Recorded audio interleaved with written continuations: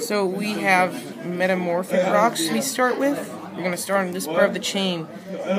They melt, and then they turn into magma. When the magma cools, we get igneous rock. The igneous rocks will be break, breaked up by the weather, and then concrete, then cemented together, and we get sedimentary rocks.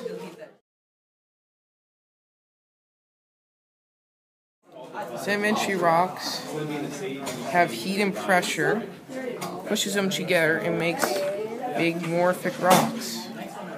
And we start all over again.